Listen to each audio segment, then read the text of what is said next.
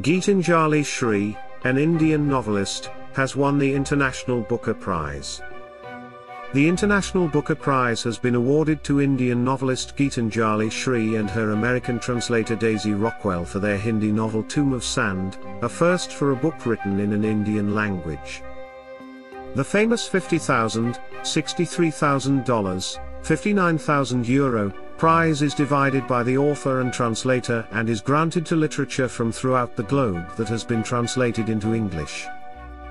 The story is set in northern India and follows an 80-year-old lady as she tackles her unresolved pain from the 1947 split with Pakistan when she was a teenager.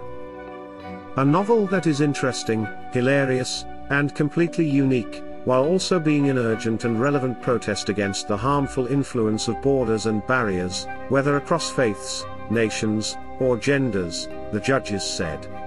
Frank Wynne, leader of the judges panel, stated the work has an exuberance and a vitality, a strength and a passion that the world can need right now. Shree, who lives in New Delhi, has written three novels, but this is her first to be published in the United Kingdom. Her writings have been translated into English, French, German, Serbian, and Korean since her birth in 1957.